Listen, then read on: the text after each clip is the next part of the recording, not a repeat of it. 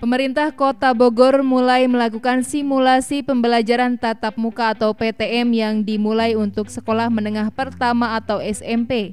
Materi yang diberikan fokus pada edukasi dan sosialisasi COVID-19 agar anak-anak paham tentang COVID-19 sebelum diminta menaati protokol kesehatan. Simulasi pembelajaran hanya berlangsung 3 jam dalam sehari dan kapasitas kelas hanya 50 persen. Pemerintah Kota Bogor pun ingin memastikan agar anak-anak selalu dimonitor oleh orang tua apabila ada gejala, anak-anak diminta untuk tidak hadir di sekolah.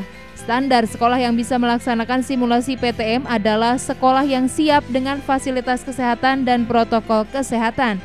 Adanya izin dari komite sekolah dan hanya siswa yang mendapatkan izin dari orang tua yang bisa mengikuti simulasi PTM dan harus mengisi checklist yang telah ditentukan.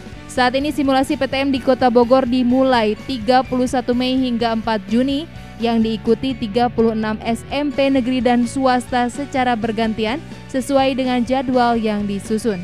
Simulasi PTM saat ini berlangsung saat kondisi kasus corona di Kota Bogor sedang landai, bahkan tingkat hunian rumah sakit di bawah 20 persen.